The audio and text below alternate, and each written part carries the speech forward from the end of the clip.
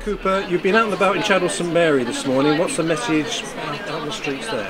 Well, we had lots of people out campaigning with Polly Billington, uh, you know, strong uh, team out, door knocking, talking to people. I spoke to a gentleman who was telling me how he remembered the starting of the NHS uh, when he was in the army and how important the National Health Service is to us. So that is what we are campaigning for. We've got to save our NHS, rebuild our NHS, get the doctors and the nurses that we need into our precious National Health Service. Are you able to direct your conversation with people towards things like the NHS, or are they trying to deflect you to other subjects? Well, people talk about lots of different things. So obviously, conversations about what's happening with the economy and the slowdown that's been announced, that just shows you know people are not benefiting from David Cameron and George Osborne's claims and their economic policies. Working people are being left behind. People also talk a lot about immigration, and we've had our 10-point plan that Labour's set out today. Our 10-point plan around controlling and managing immigration so that the system is fair.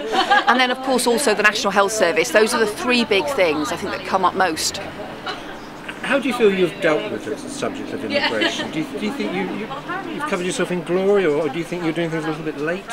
Well, we've set out 10 point plan today. I mean, they're all practical things that we would do. And, you know, I've been here in Thurrock before, having public meetings on immigration, talking to people, listening to people. I've done the same all around the country. Because what people say is, look, immigration's important for Britain, but it's got to be controlled and managed and it's got to be reformed. The system's got to change. So we've got plans for stronger border controls with a thousand more border staff to do the job, but with also changing the benefit rules. So people can't claim until they've been here for at least two years.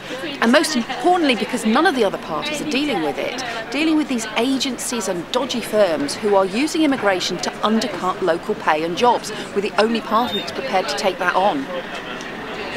UKIP are ahead in the polls here. Um, what is it I know people talk about polls. What did you think Polly Billington can do between now and May, May the 7th to, to get that lead back? Well, I think in the end, the only poll that matters is on election day itself, and that's why you know Polly's got a great, strong campaign out, a great positive campaign for the future of our country, the future of this area, believing in the people of this country that we can have a more optimistic future, rather than just knocking us and rather than just turning the clock back.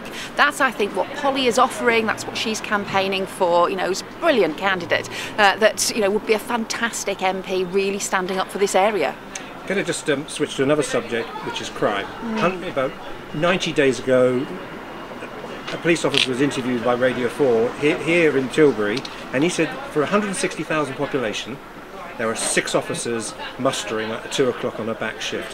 How on earth did it get to that? And can you make a pledge that if you become Home Secretary that we won't have six officers, we'll get back somewhere near to that figure between 20 and 40?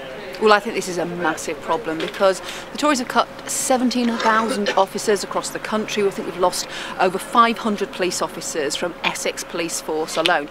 And what's worse is they want to go further. They want to do the same again. We could lose another 10,000 officers in the next few years alone. So we've said we'll do things in a different way. We'll have an alternative plan that would stop those 10,000 police officers being cut. Let's do things like get rid of the police and crime commissioners and put that money back into the front line. Let's stop the gun subsidy and put that money back into the front line. Let's get forces working together, put that money back into the front line. So we would guarantee that areas will have neighbourhood police on the streets. It's really important for our communities. Thank you very much.